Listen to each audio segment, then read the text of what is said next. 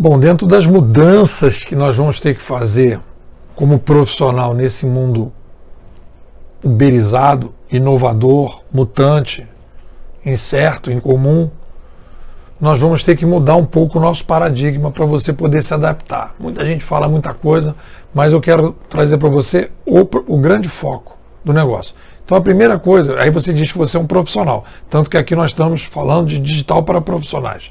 Mas vamos definir o que, que é profissional. Vê aí a definição que eu achei.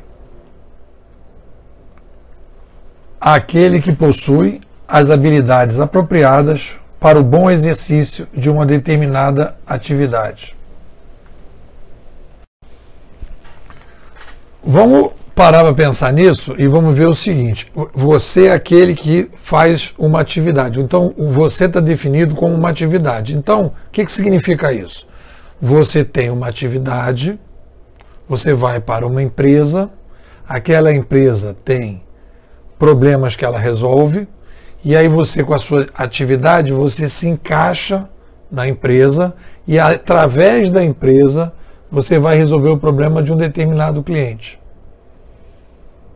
Então, percebe? Você tem uma atividade e você não está preocupado em focar no cliente. Você vai indiretamente ter a sua atividade para atuar no cliente. Você precisa, você foi educado, você foi formatado para ser um, uma pessoa intermediada por alguém que tem o contato com o cliente, então você oferece o serviço para esse alguém e esse alguém oferece para o cliente. Eu vou fazer uma proposta para você pensar de maneira diferente. Dá uma olhada aí. Aquele que possui as habilidades necessárias para resolver determinado problema. O que, que mudou nesse cenário? Você agora é um profissional de solução de problemas. Quem tem problema, quem é focado em problema, tem cliente. Porque o cliente tem você vai focar, você vai juntar a, a sua habilidade com o problema do cliente. Fica mais fácil. Se você é um profissional genérico, você não vai conseguir. Então, por exemplo, eu quando vim para essa uberização, eu me propus a ser um solucionador de problemas. Qual é a sua profissão? Pô, eu sou um solucionador de problemas. Eu hoje dou aula, né? eu sou focado em aula para resolver qual problema? Dez, dez dedinhos. Eu ajudo profissionais e organizações a lidar melhor com o mundo digital. Tá claro? O que, que você faz? Eu ajudo essas pessoas. Aí como é que você faz isso? Né? De que forma você faz isso? Mas eu tenho foco. E no momento que eu tenho foco, eu tenho condição de ver quais são os clientes que eu posso ajudar. E no momento que eu ajudo uma pessoa que está com um problema e soluciona o um problema, o que, que a pessoa vai fazer? Ela vai ver valor. E no momento que ela vê valor, o que, que ela vai fazer? Ela vai transferir valor. E aí, no momento que ela transfere valor, eu passo a bater minha meta. E no momento que eu passo a bater a meta, eu pago as minhas contas. E no momento que eu pago as minhas contas, depois eu estou conseguindo, além de sobreviver, no avançar da brincadeira, eu passo a existir. Já posso começar a imaginar em comprar um celular novo para melhorar, posso imaginar comprar uma câmera nova para tirar fotografia, já posso pensar em trocar minha clarineta. Então as coisas vão evoluindo. Mas eu preciso ter um norte. Quem é o meu norte? É um casamento entre aquele problema que eu acho que eu tenho capacidade diferencial, potencial para resolver e encontrar o meu cliente que vê valor nesse meu potencial. Está dando para entender a lógica que a gente vai estabelecer, que é uma lógica completamente diferente daquilo que você pensa de ser profissão? Pessoal, quando a gente vai tentando entender esse novo mundo, a galera fala de procurar e eu acabei achando uma metáfora para mim que ajuda, que é procurando a Gabriela. Gabriela, entre aspas. O que é procurar a Gabriela? Né? Pô, procurar a Gabriela é você definir o perfil do teu cliente. Quanto você? Então você já fez deu o primeiro passo. Você já não está procurando ter uma atividade. Ah, eu tenho uma atividade. Qual é a sua atividade? Não, você tem um problema. No momento que você passa a ser um, você tem um potencial para resolver um problema, você vai começar a focar em quem é a pessoa que vai ser ajudada para resolver o problema. No momento que você achar essa pessoa, vai ter a liga, vai ter a troca de energia e a partir dali vai começar a rolar valores. Você vai vender para ela o que você pode ajudar e ela vai te remunerar por isso. Beleza. E aí você precisa procurar o perfil. Quem que é o perfil? Quem que é a pessoa que está com problema? No momento que você começa a fazer esse exercício, e é um exercício importante que você vai ter que fazer, você vai começar a ver quem é a sua Gabriela. E aí eu vou dar aqui algumas, alguns parâmetros para gente começar, para te ajudar a achar a tua Gabriela. Dá uma olhada aí. Então, quando a gente vai pensar na Gabriela, a gente vai ter que focar, vai ter que pensar, vai ter que imaginar. Isso não é uma coisa fechada. Ah, é, é isso e vai ter que ser isso de qualquer jeito. Não, isso é uma pivotação. É aquela mesa de ping-pong que a gente viu. A gente vai lidar com a realidade, vai jogar a bolinha e vai receber de volta. O teu cliente, qual é a idade dele? Vamos testar? É região, qual é a região? Qual é o gênero? Qual é o temperamento? Eu tenho um amigo meu que dava aula de teatro para tímido. Então ele, ele, o nicho dele é timidez. E aí ele definiu um temperamento. Cara, eu sou tímido, quero fazer teatro. Ó, tem um grupo só para você. No meu caso, por exemplo, eu percebi que o meu, o meu perfil de cliente né, não era é Brasil inteiro, todas as regiões, principalmente idade mais avançada, mas podia ser qualquer idade, né, tem aluno de todas as idades, não tem problema de gênero, mas não tem temperamento. Quem são? São os inquietos. Então você vai ter que pivotar. Pivotar é uma expressão que o pessoal usa nesse mundo do empreendedorismo, que é pivotar é muscular, é tentar, é refletir, é estudar, é ir para lá, ir para cá, ir para lá, ir para cá, jogar ping-pong com a vida. E o teu cliente vai te ajudar. No momento que você tentar vender e não conseguir, e aí você vai conversando, você vai vendo qual é o melhor perfil, e aí você vai definindo e você começa a fazer uma estratégia para atingir esse perfil. No momento que você começa a definir. Então preste atenção, a coisa mais importante é você olhar para o cliente. Eu vejo às vezes pessoas que ficam meses, meses, e a pessoa vem, vamos, depois eu quero fazer uma reunião, quero te apresentar minha, meu projeto. A gente pensou isso, pensou isso, pensou isso, pensou isso, pensou isso, pensou isso. O cara passou meses, o cara está desgastado, está cansado, já, já não, não vai funcionar. Então ele tem, que, ele tem que ir em contra o cliente o mais rápido possível.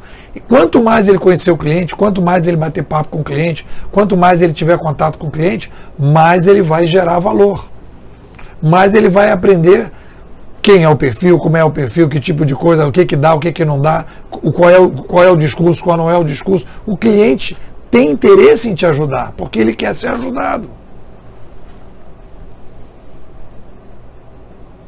Então, o primeiro passo é esse. No segundo momento, você vai definir a sua entrega. Eu estou partindo do princípio que a gente está falando de serviços. Não quer dizer, e você pode aplicar se quiser para produto. Vamos ver agora um quadrinho para você ver como é que seria agora o problema da entrega.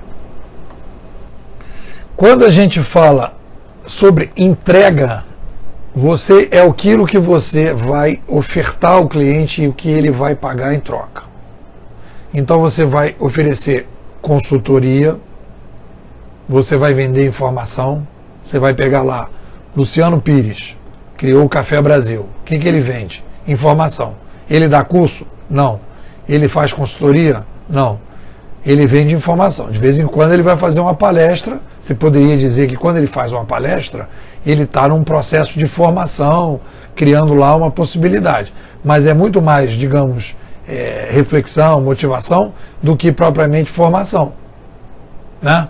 Então, você vai definir o seu escopo. O que, que você tem para oferecer para os seus clientes. Né? E a partir desse momento, você vai ter que definir como é que você articula as coisas para que ele possa ver as opções e, se possível, comprar escalonado.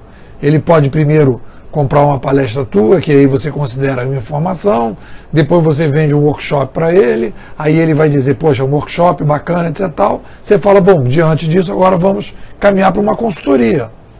Então você vai encadear as coisas para que ele perceba o valor e ele vai te conhecendo e vai te investindo em você. Então você vai fazer assim uma espécie de é, degraus para que você possa ir trabalhando. E esse negócio, os degraus têm que ser muito bem articulados, né? E você tem que mostrar para ele o valor que ele tem em cada uma dessas etapas. Então vamos lá, hein, galera. Definiu lá a Gabriela um perfil tudo na cabeça, vai testar. Definiu lá os produtos. Definiu, vai testar. E aí você vai ter que fazer um trabalho, que é um trabalho super importante, para você ver se a coisa que você está pensando está se validando. Porque a gente fica, às vezes, na fantasia, na ilusão, ah, eu estou fazendo, está super bem, etc. Tal. O que interessa é a relação entre existência e sobrevivência. Entre o teu propósito e a capacidade de você comercializar o seu propósito. Que é um negócio difícil, é uma arte. Então, você vai ter que definir dois tipos de meta. Vamos falar, vou mostrar a figura e comentar. Aqui vai valer uma coisa que o mercado chama de atacado e varejo. E eu chamei aqui para dar um charme, né? metas existencial de longo prazo e metas né, de sobrevivência de curto prazo. É o velho e bom chamado atacado e varejo. O sobrevivência de curto prazo é aquele dia a dia, é aquele cliente, às vezes pessoa física, aquela pessoa que vai trabalhar com você, que, vai, que você vai oferecer, que vai, vai, vai, vai trabalhar uma, um, uma turma pequena, uma aula que você está dando em algum lugar, alguma coisa que você vai estruturar nessa direção. E o existencial de longo prazo é aquele cacetão que você dá, um, um projeto enorme, uma palestra que você deu, etc, etc. Você não pode ficar, na minha opinião, nem ficando só no, no, no curto prazo, no, no varejo, e nem ficar só trabalhando no atacado. Quanto mais você trabalhar uma coisa com a outra, uma coisa puxa a outra. Então é bom você ter o teu cliente no, no, no, varejo, de você procurar a pessoa física, se você puder, se o teu negócio te oferecer, como é que você chega na pessoa física. E como você passa da pessoa física para a pessoa jurídica ou para um projeto mais amplo ou uma palestra, etc. Aí você vai fazendo essas duas coisas. A sobrevivência do curto prazo e, a sobre, e, e, e, e de longo prazo, existencial, é sobrevivência de, longo, de curto prazo, você está pagando as contas no final do mês. E de longo prazo é o, é o dinheiro que você vai colocar para os seus projetos existenciais, para ter uma reserva, para guardar uma grana. Então você tem que ter o curto prazo para manter o dia a dia e o longo prazo. Então, se você puder pensar nesses dois modelos, você consegue estruturar e começa, começa a pensar diferente do que a gente costuma pensar. Bom, essa é a jornada. Você vai definir, você vai lidar com o cliente, pensar em problema, você vai trabalhar para definir quem é o tua Gabriela, qual é o teu perfil, qual é o teu foco? Qual é o problema que você pode ajudar a resolver? Quem que é a, a Gabriela?